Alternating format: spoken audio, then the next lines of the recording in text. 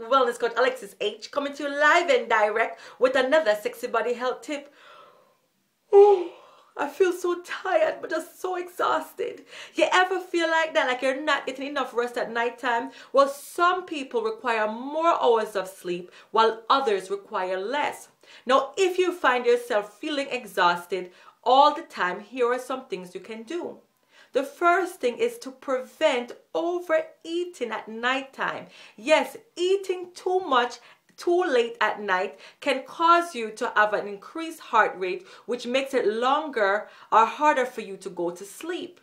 Also, overeating can cause acid reflux, which also allows you to get up constantly throughout the night and making you lose the sleep that your body needs. Also, if you're a smoker, step two, if you're a smoker, smoking is a stronger stimulant than, than caffeine, which causes you now to take even longer periods of time before falling asleep. Also, step three, you can prevent feeling exhausted by doing daily exercise. And yes, regular exercises causes the body to get a good night's rest. You can also take natural sleep aids such as Tang chamomile, and lavender oil to help you get to sleep easier and have a good night's rest throughout the night.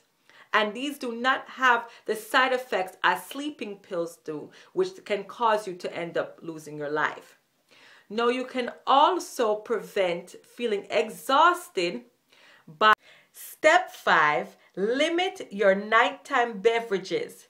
Drinking beverages before bedtime can cause you to urinate quite frequently throughout the night, which makes it harder for you now to fall back to sleep. Step 6. Make your bedroom comfortable. Choose a comfortable mattress, comfortable pillows, and remove any excess clutter out the room, which will allow you to have a good night's rest. Now remember, it's the Ace of Health, Wellness Coach Alexis H, coming to you live and direct with today's sexy body health tip, reminding you to remember real beauty begins with putting health first. Opt in. I love to connect with you.